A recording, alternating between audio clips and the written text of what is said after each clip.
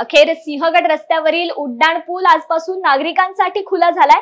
या उड्डाण पुलाचं काम पूर्ण होऊनही उद्घाटन होत नसल्यामुळे टीकेची झोड उठत होती.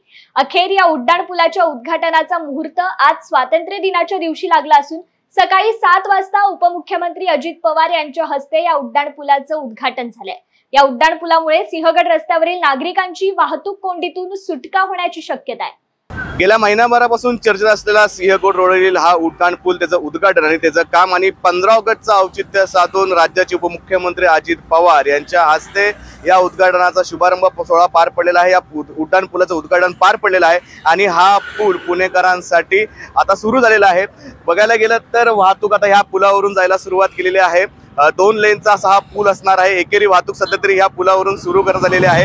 राज्याचे उपमुख्यमंत्री यांनी पुण्याच्या विकासाबाबत महायुती सरकार नेहमी अग्रेसर राहील असं आश्वासन देखील पुणेकरांना दिलेलं आहे. त्यासोबतच चांदणी चौक असेल किंवा वांजवे असतील किंवा अजून पुण्यातली जी विकासाची कामे असतील त्यासाठी महायुती सरकार तत्पर असल्याचं उपमुख्यमंत्री अजित पवार यांनी माध्यमांशी बोलताना स्पष्ट केलेलं आहे. कॅमेरामॅन वैभव सह मी शुभम न्यूज अनकट पुणे.